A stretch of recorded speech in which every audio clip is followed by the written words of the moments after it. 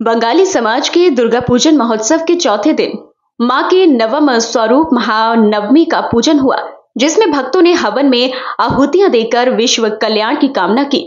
माता को भोग लगाकर भंडारा किया गया और शाम को दशमी पूजन किया गया।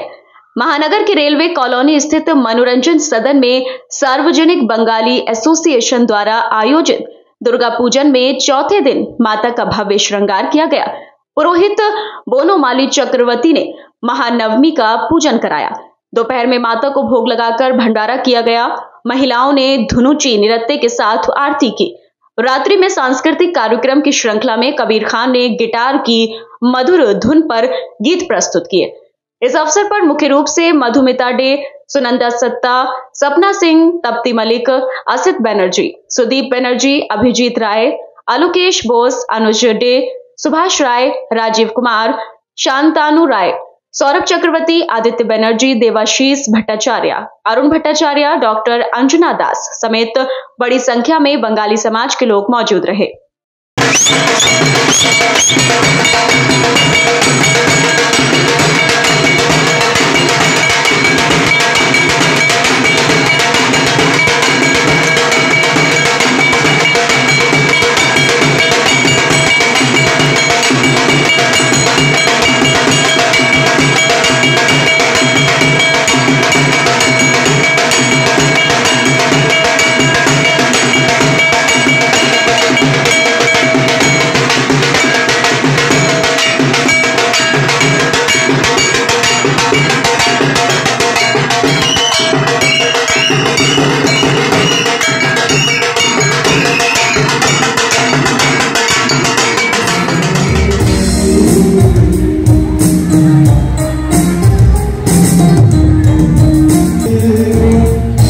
Ooh.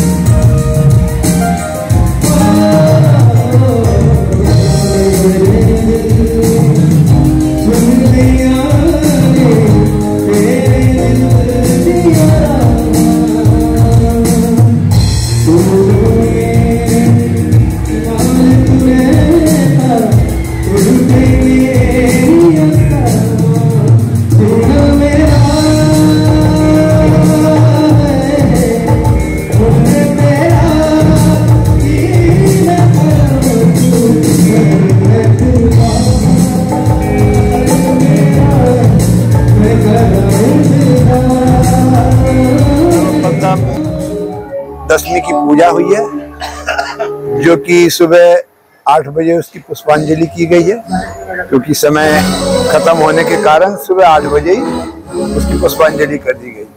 उसके बाद दिन में माता को भोग दिया गया है।